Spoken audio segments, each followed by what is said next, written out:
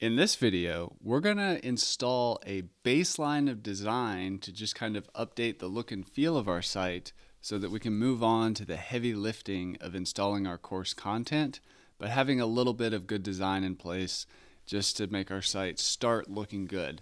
But it's important to note that we'll be doing the majority of the design work and the look and feel customization at the end of the project. But to take the fast lane to having a great looking design with the Lifter LMS Launchpad theme, we're going to log into our account here and we're just going to download the Lifter LMS Pro graphics pack again. So I'm going to download that to my desktop. While that's downloading, I'm going to navigate over here to Appearance Launchpad. And what we're looking at here is what makes the Lifter LMS Launchpad theme so powerful. There are so many settings that you can use and configure and create a custom look and feel and brand for your site without having to write a single line of code or hire a developer or designer to do custom work for you. You can just do all this through theme options.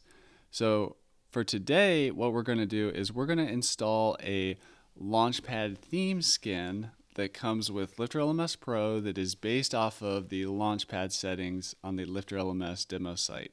So the Lifter LMS Launchpad theme blank install is pretty plain.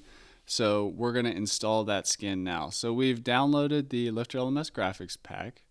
I'm going to open that up by double clicking on it. And inside here, if we look right here, there's these Lifter LMS Launchpad theme skins.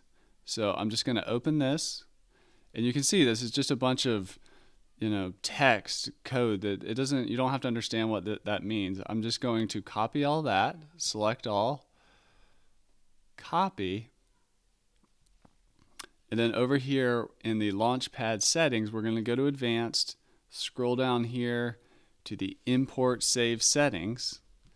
You can actually export too if you ever want to give your launchpad settings to someone else or sell them or whatever uh, you can basically kind of create your own little theme for Launchpad if you want to, just by uh, you know creating settings that really deliver a certain look and feel. So I'm going to import those settings. And the import was successful. I'm just going to click Save Changes here.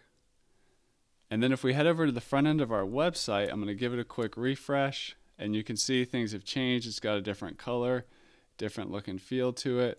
I'm going to jump over here to the course catalog and we can see um, now we've got a, a, you know some more options selected here and the design is you know it has a it's starting to head in a certain direction but right now this is looking uh, a lot better so now I can start you know relaxing a little bit on the design front and really focus next on the heavy lifting lifting of installing the course content and setting up all the engagements to create a compelling and fun and uh, awesome online course that people want to finish. And in this example, we're actually going to be setting up nine online courses uh, made by different authors. So stay tuned.